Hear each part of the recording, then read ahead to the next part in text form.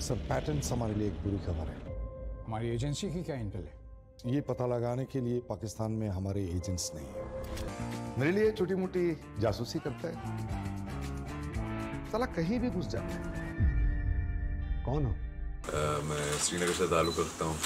और हमारा शो अभी अभी 11 नवंबर को जी फाइव पे आया है। इसका नाम Mukhbir the story of spy है।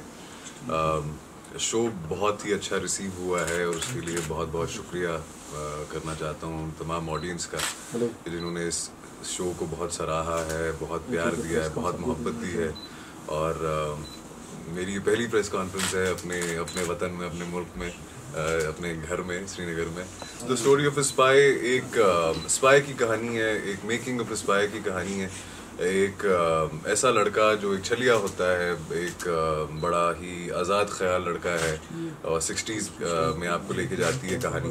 और उसको एक तरीके से ऐसे माहौल है हिंदुस्तान अभी इंडो चाइना वॉर से बाहर आया है और कई सारी मुश्किल दरपेश हैं मुल्क को। और उस सब के बीच में जो इंटेलिजेंस एजेंसी है वो बड़ा स्ट्रगल कर रही है कि उनके स्पाइस कामयाब नहीं हो रहे।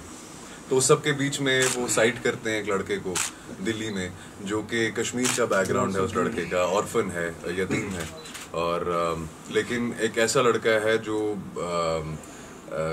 बड़ा ही जहीन है और छोटे छोटे ऐसे काम करता है, चलाकियाँ करता है, जिससे उसकी ज़िंदगी बसर होती है।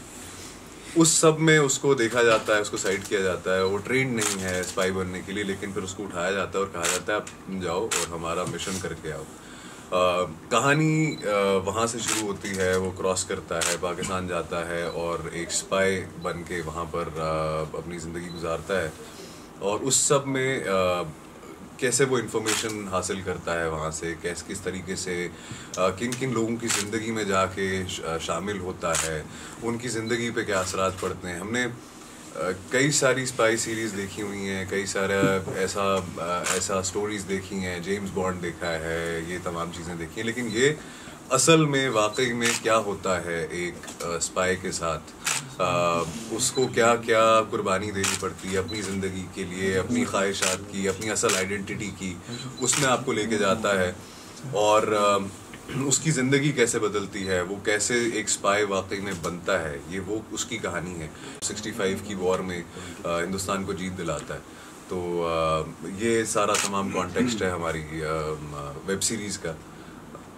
तो कई एस्पेक्ट्स जो इस सीरीज़ के हैं, जैसे ज़बान है कॉन्टेक्स्ट है हिस्टोरिकल कॉन्टेक्स्ट है, वो वो तमाम चीज़ें पहले से मौजूद थी। उसके अलावा प्रेपरेशन में डायरेक्टर्स का बड़ा हाथ होता है स्टोरी का बड़ा हाथ होता है, आप किस तरीके से कैरेक्टर को प्रिपेयर करते हैं। स्क्रिप्ट का बहुत बड़ा हाथ होता है। हमारी स्क्रिप्ट शुरुआत से बड़ी मज़बूत थी, बड़ी सॉलिड थी।